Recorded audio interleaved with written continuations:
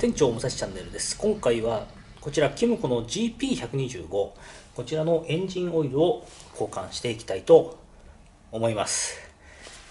メーターにねエンジン、えー、オイルチェンジのサービス、えー、チェックランプがね1000キロ走るとつきますけどまあ、1000キロで交換が必要なのかと言われると、またそれはまた難しい部分ではありますが、ただですね、オイル交換はするに越したことはございません。えー、ですのでね、あのこまめにしていただくというね、でまあ、もちろんあの高級なあんまりオイルはね、使わなくてもいいんじゃないかなとは思いますが、はい。で、えー、今回使う工具、まずですね、こちら、えー、プライヤーですね。で、先端にこう樹脂がついてて傷がつかないような。で、これで、オイルレベルゲージっていうものがありますね。これを、結構ね、硬いので、指でやろうとすると、で、マフラーが近くにありますから、エンジンが温まってね、マフラーも熱い状態で触るとね、やけどしちゃう可能性もありますから、まこれでね、緩めた方がいい。締めるときは手で締めます。はい。そして、えー、あとオイルを抜くのにドレンボルトっていうものがございます。はい。それを緩めるためのものとして、えー、こうね、ソケット。そして、まあ、ちょっと、そこの奥にありますから、やりやすいようにエクステンションバー、そして、メーカーによって名前が違うんですけど、スピンナーハンドルとか、ブレーカーバーとか、いろんな名前のね、あれがありますから、こういうね、回すための棒ですね。で、これをこうつなぎ合わせて、で、こう使うということです。え、通常のメガネレンチとか、ね。で、絶対に使っちゃいけないのは、スパナ。オープンエンドスパナってね、こういう、こういうやつです。外側が開いてるやつ。あれでゆるネジを緩めるっていう行為は基本的にはしません。はい。ということは皆さんよく分かっているかと思います。はい。さあ、まずオイルレベルゲージですね。こちらにございます。エンジン右側、これを緩めます。こうね、プライヤーで挟んで、クッとね。はい。で、あとはね、で、ここに触ると、やけどする可能性ありますからね。今、エンジン温ま、えー、エンジンは今、温めてあります。その方がオイルが抜けるんでね、抜きやすいので。で、こういう感じでね、あります。はい。まず、オイルが入ってるかどうか。これ、これ見た方がいいですね。オイルが減ってるようだったら、もっとね、別の問題があるかもしれない。で、このレベルゲージの真ん中についてますね。だからオイルは入っているということで問題ないということです。このバツバツバツバツですね。ここね。ここの間に入ってる。真ん中よりもちょっと上ぐらいまで入ってれば十分でございます。あんまり上の方まで入れる必要はございません。さあ、そうするとエンジン左側、反対側ですね。ここです、これ。これがドレンボルトになります。ですから、これを緩めます。で、このドレンボルトを緩めるのに、こういったタイプね、メガネレンチっていう、こう両方が丸になってるね。そして、これがオープンエンドレンチって言って、先っぽがね、開いてるやつ。まあいろんなのありますけど、基本的にネジの締める、緩める、で、最後の本締め、あと、最初に硬い、硬く締まってるの緩めるっていう時は、こういうの使ってくださいね。もしくは、こういうやつっていうことになります。で、先ほどありましたけど、そこにこれでアクセスしようとすると、どうなるのか。まず、実際ですね、ちゃんとかかってないんですけど、奥まで入んない。周りにちょっと突起物があるから、ボルトの周りに。こういうのが入らないんですよ。で、さらに入ったとしても、回すスペースがないんですよね。振り幅がなくなっちゃうんで、結局これは使えないということです。さらに、まあ、こういうのでやろうとしても、これ無無謀ですね。やっぱり無理なんですよ。なので、こういったのが必要。で、これをここに刺して、ね。そして、これで緩めるということです。で、これで緩めるんですけど、一応ね、置いておきますね。ね、こんな感じで緩みますよね。そして、えー、下にオイルを受けるものを置いてですね、そして緩めると。で、最後ドバって出てきますから、いいところで、ね、こんな感じで。どうですか？ね。はい。で、オイルが抜けてる間に、こっちのね、ドレンボルト。まず、ね、ドレンワッシャーっていうアルミとか銅とかまあいろんなのありますけど、まあ、大体アルミ製使ってますからね。はい。えー、で、これは毎回交換です。はい。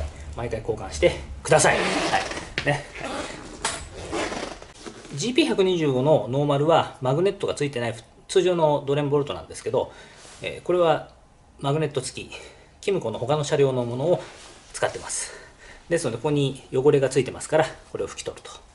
ね、こうやってほら、黒い、ね、金属粉がつくんですよ。はい、ですから、こうねね、先端がマグネットになってるっていう感じですね。はいえー、これはキムコの販売店で購入いただくことも可能ですから、もしね、GP125 を購入して、えー、なるべくエンジンをね、長持ちさせたい、ね、大切にしたいという方はね、まあ、こういうのに交換してもいいのかなと思います。そして新しい、えー、パッキンね、これを入れると。ね。で、えー、今、車体まっすぐで、ボルトが横にあるんで、全部を抜き切るのはなかなか難しいので、これをね、斜めさせるとか、もしくはサイドスタンドでっていうのもあるんですが、ドレンボルトが今こう真横向いてるのがサイドスタンドですけど、もっと下向いちゃうんで、緩めづらくなりますよね。うん、だからまあセンタースタンドでやってますけどね。はい、でオイル容量は0.75リッターということで、その量を用意していただくということです。で、1リッターの例えばボトルでね、購入とか、それを入れるという場合は、そこにノズルをつけて入れてもいいんですけど、その場合は、ある程度まで入れたら、オイルレベルゲージで測って、えー、やってくださいね。はい、ちなみに、多すぎるのはいいことは何もありませんので、はい、入れすぎは注意してください。口元まで入れましたっていうのはダメですからね。あのオイルレベルゲージで測って、その一番上と一番下の真ん中より気持ち上ぐらいですかね。それぐらいがちょうどいいということでございます。さあ、そしてこれはキムコの車両に言えることなのですが、ここにブローバイからエアクリアの方に戻してるんですけど、エンジンのそのガスをね、で、オイルとか水とかが、ま、水蒸気が、はい、上がってくるんですよ。で、それを液体ものをここに溜めるようになってます。で、他のメーカーにもついてるんですけど、キムコのはね、結構ここにね、それが溜まったりするんですよ。ですので、オイル交換のたびにね、これ開けてください。はい。そうすると、ドボッと出るんじゃないですか？どうかな？出ないか？なあ、ちょろっと水出ましたね。はい、ちょろっと水出ました。はい。で、これオイルが、オイルいっぱい入れると、ここがオイル溜まります。戻るんで。結局戻っちゃうことになるんで。で、ほっとくと、掃除しないでほっとくと上までずっと溜まっていって、最終的にこの辺からオイルがにじみ出てきます。で、この辺オイルまみれ汚れてるような車両っていうのは、このブリーザーチューブをね、全然掃除してないということが言えるかもしれない。だから、えー、これはたまに。ていうか、オイル交換のためにね、これは掃除してあげるといいです。はい。まあちょっとしか、水がちょっとしか出なかったですね。まあオイルが半分ぐらいでしたからね。だからそんな感じなんじゃないですか。あともう乗り方にもよるんですよ、これ。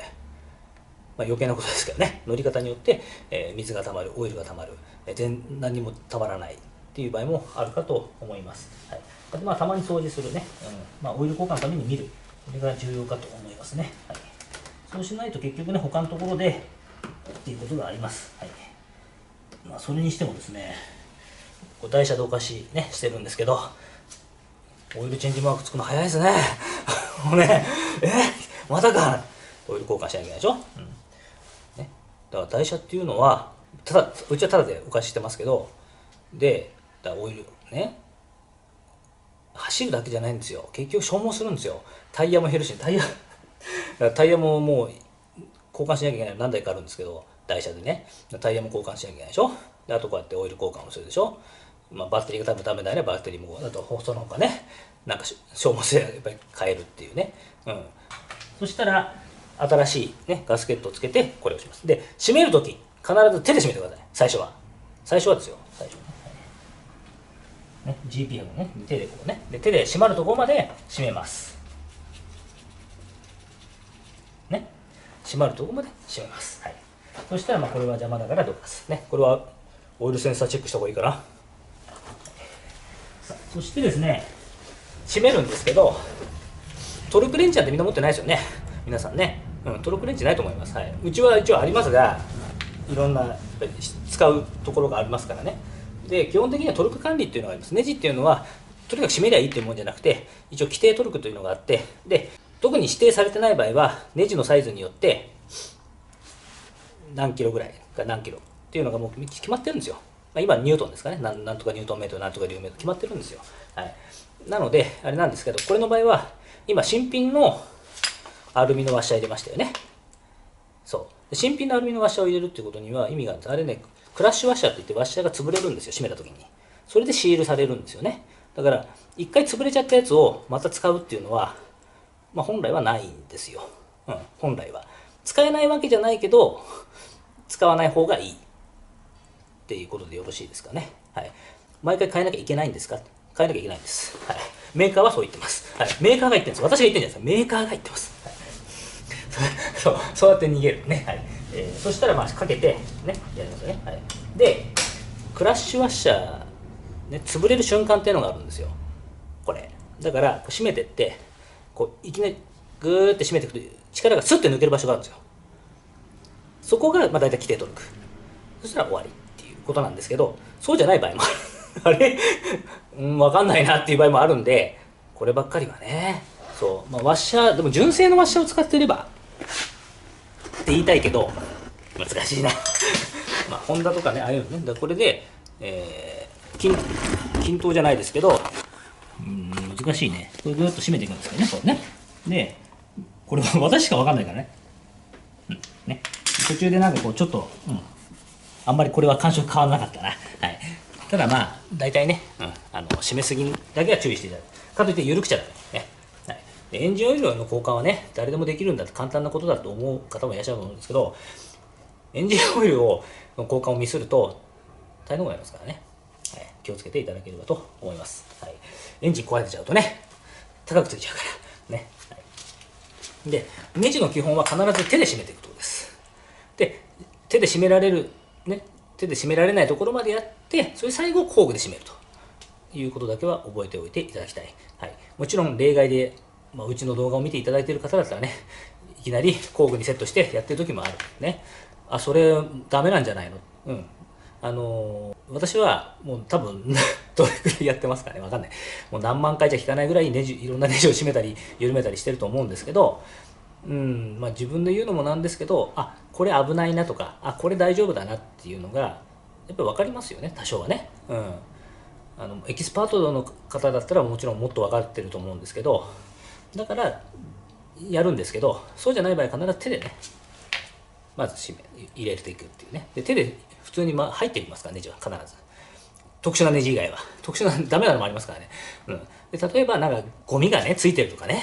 砂利噛んでるとか、えー、そういうんで入らないとかね。だそういうのはありますありますから。だそういう時はあれおかしいなって言って見るんです。あと入れる側とね。そう。であ大丈夫だなって。で最後工具で締めるということだけは覚えておいていただきたい、うん。えー、と思いますが、どうでしょうか。はい、そしたらオイルを入れて、えー、っていうことになります。そしたらオイルをね、入れていきたいと思います。うちはあのオイルジョッキでね、はい、おいっぱい買ってそれをここに入れてやってます、はい。まあ、通常はね1リッターとかねああいうのを買われるかもしれませんけどね、はい、でえー、まあ、いろんな都合によりオートバイ用の通常のオートバイ用のオイルを入れております、えー、こちらはねエルフの元フォーロード 10W40 っていうタイプですね、スクーターなのでスクーター用のオイルでもいいんですけど高いので それわざわざこれ用に別に買うっていうのはねあの効率が良くないんで、えー、大量に買ってるそのオイルをそのまま入れてます。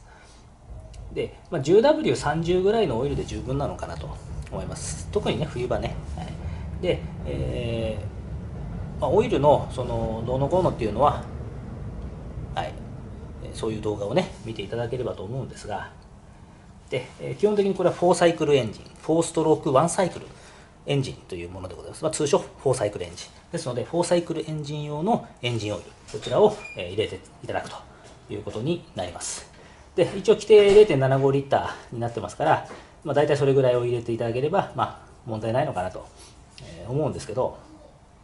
そしてこれを、えー、ちょっとねオイルレベルを、まあ、大体ちょっと入れてねこれで測りますね。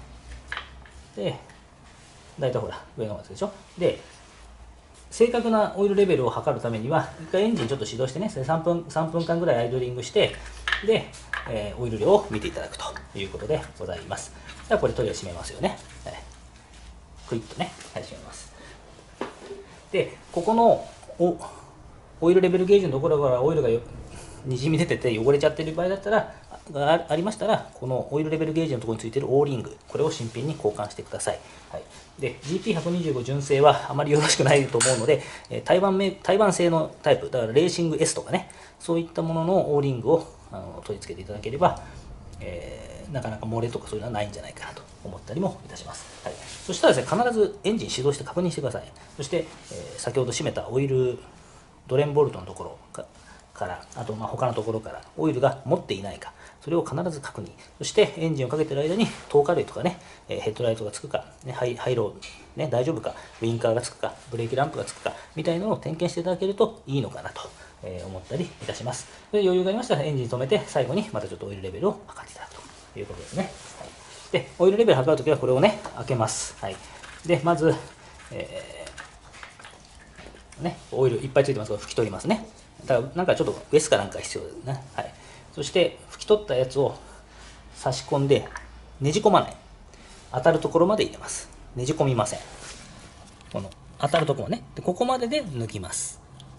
それでここの間についてるオイルね今上の方までついてますけどオイルレベルがねこの間に入っていれば OK ということになりますということで皆さんもですねまあ工具が必要になりますけどもしよろしければねやっていただきますね。